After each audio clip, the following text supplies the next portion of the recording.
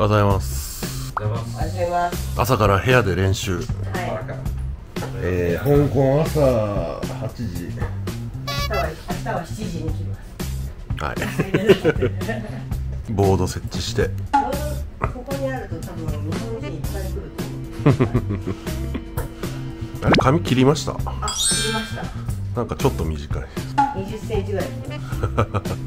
ヘアドネーションドネーションできません、この金髪は。してくれる人がいるならば差し上げますけど。昨日は到着遅かったから食べましたなんか。せいちゃんって寝た。お。どん兵衛食べてみた。アリとゆきえちゃんが買ってきてくれた。はいもう日本のお。店めちゃくちゃあるんで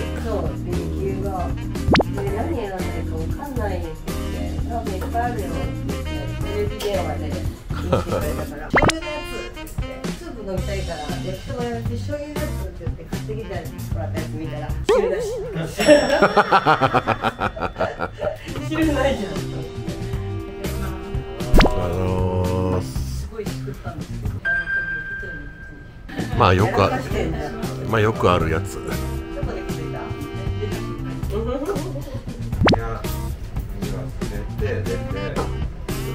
で前の鍵がもう死ぬシステムなんですねまず部屋入って次出るとき死んだ方の鍵持ってきてごめんまたダメこのジャパニーズは何回インロックしてる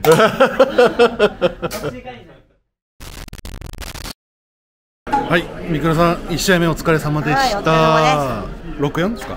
かな？ににまあ2試合、あんまり。2回戦、うん反省、反省。反省まあ反省点っていうかまあトイレも行きたかったんだけどまあ 詰まってたんでまあでも言いたいことは絶対言った方がいいの分かってて我慢した自分が悪いんで。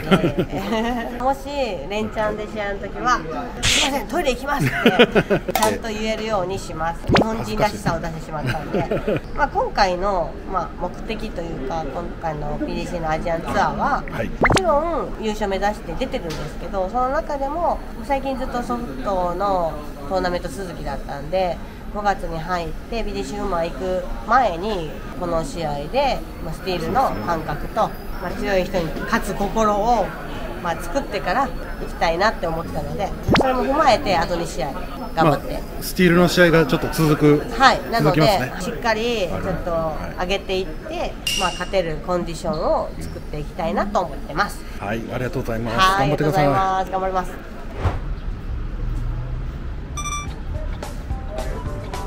はい、お疲れ様でしおた。疲れ様2人ともベスト32かな？はい。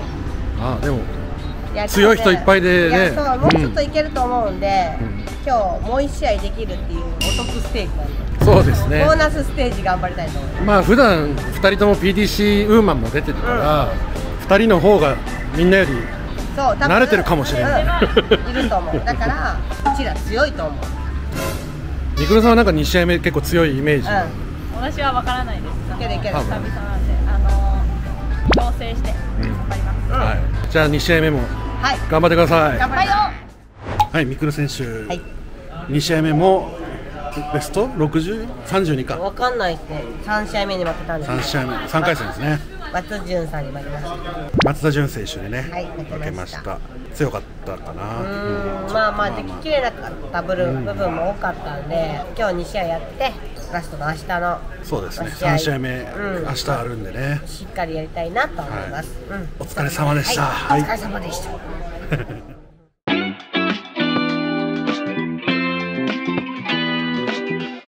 おはようございます。おはようごおはようございます。2日目の朝。はい今日は3試合目ですね、はい。昨日村本さんベスト8まで。2人は3232だったんで今日はそれ以上いけるようにはい。頑張ってください、はい。じゃあ今日も一日よろしくお願いします。はい、こんにちは。どうですか？クリケットセッション。クリケットはやっぱ面白いよね。先ほどなんか馬出したみたいです。馬出た馬出た。さすがでございます。さすがでございます。馬嬉しいねフィドの馬え、馬のアワード見た？見た。どんな馬出たちゃんと。あー消した。フィドのね、クリケットが、なかなかクリケットやることないからね。はどうだったのクリケット。クリケットたまに店で遊びでやるけど。うち2回目今日。あとシカゴでアニーとダブルス組んで優勝した。えアニーがすぐナインマーク出すすぐナインマーク出すのあい。ー、あ優勝候補。優勝これ？アいねえから無理だ。今日でもクリケットセッションやってみて思ったのがあれ意外とブル簡単じゃね？おーい。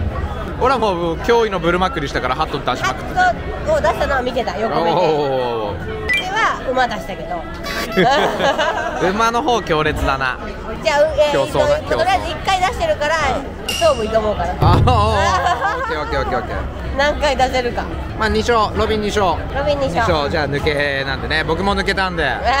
まあ決勝で待ってますわ。馬の数だから決勝とかじゃなくて。ああオッケーオッケーオッケー。スタジオにお返ししま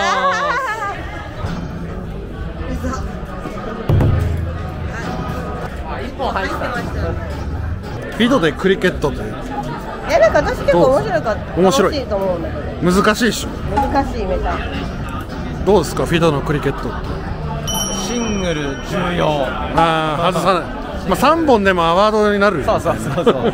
優しいお疲れ様でした。お疲れ様でした。疲れましたね。いやつい強かった。どうぞ。こちらへ。フィリピンの選手ね、うん。パオロさん。パオロさん。強かったです、やっぱこの3日間本当フィリピン選手の活躍がすごくて。すごくてちょっうん。とレベル高いなレベルめちゃくちゃ高いんでやっぱ日本人負けてられないなっていうところですね。ね。なかなかフィリピン表彰台独占みたいな。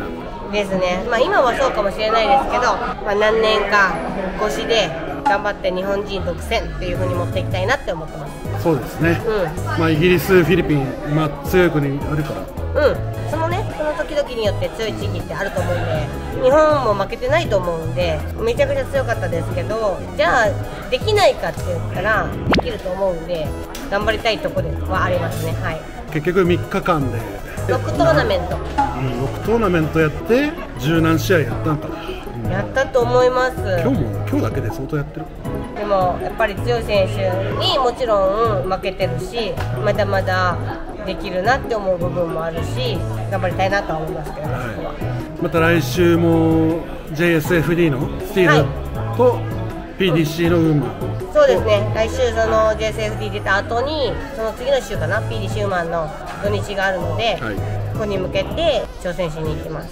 今回のアジアンツアーも含めフィドのトーナメントも強い人がいっぱいできたんでいい経験になると思うのでそれを踏まえて結果を PD シューマンで残していきたいなって思います。はい。はい。お疲れ様でした。お疲れ様です